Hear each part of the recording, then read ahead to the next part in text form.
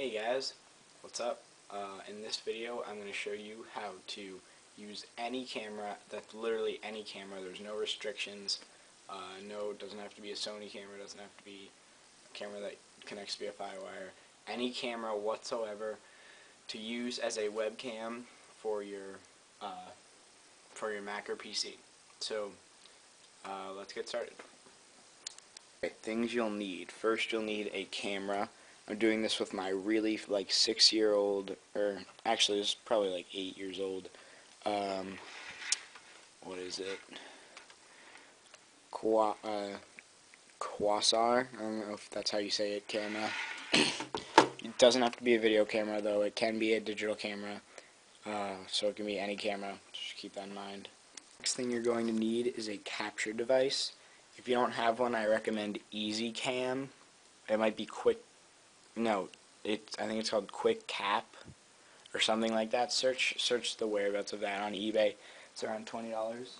What it's going to be is one side is going to have a USB and an audio, and on the other side, it's going to have an S video and the three uh, ports that you would see on the back of a TV.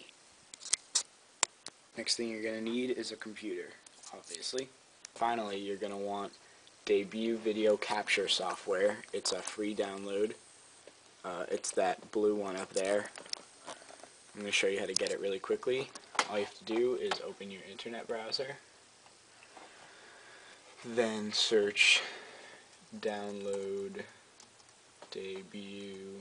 I'll probably have the link in the description so you can just go check that out over there. Um, download debut video capture. then here it is.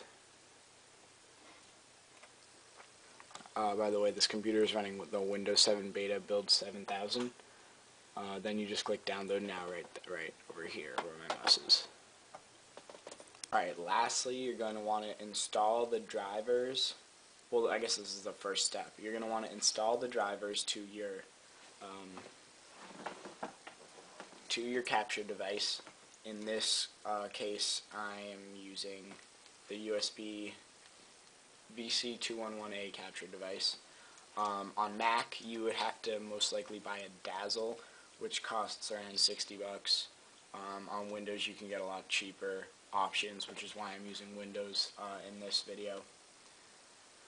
Because this was only, well, actually, my friend uh, traded it for me for a game, so kind of got it for free basically. Um, so yeah, you're going to want to install the drivers for your capture device. After that's done, you want to plug your capture device into your computer by plugging the USB uh, into a USB hub or a USB in the back of your computer. Uh, then what you want to do is you want to plug this into the this into the microphone jack on your computer. I won't be able to show you this, but there most likely is a headphone jack on your computer, and then there's a microphone jack, and they'll be right next to each other. You don't want to plug it into the headphone one, you want to plug it into the microphone one. Alright, I just got that done.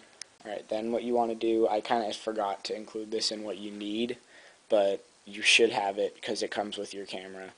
Um, you want the cable that connects your camera to the TV to display what's on the camera on the TV.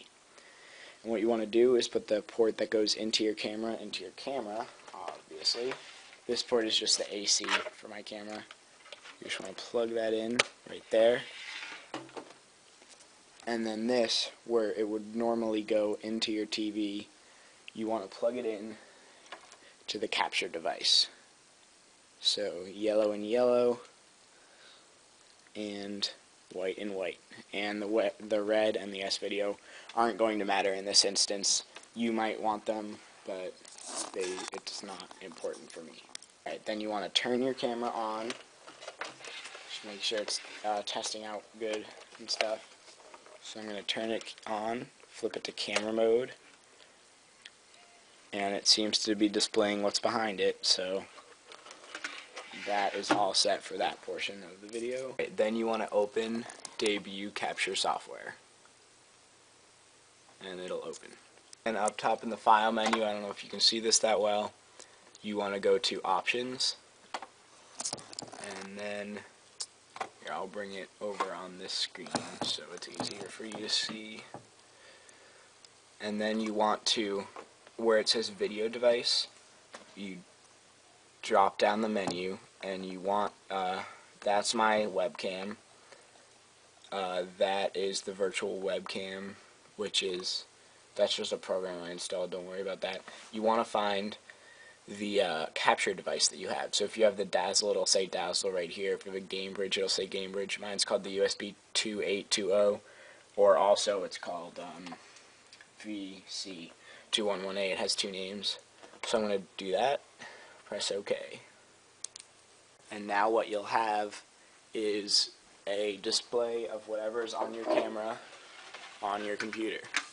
So as you can see, I'm using my camera here and it's displaying whatever I show on my camera. Um, if you can see this, I'll like point the camera at these rock band drums. See the rock band drums? Now I'm pointing the camera at them. I'll hold it there, and then on my computer there's the rock band drums with me moving it around. I'll point it at the uh, at me doing this video, and then as you can see that's the camera I'm using right now uh, to record this video and then there's me. So this is how to get any camera to be used as a webcam. Thanks for watching.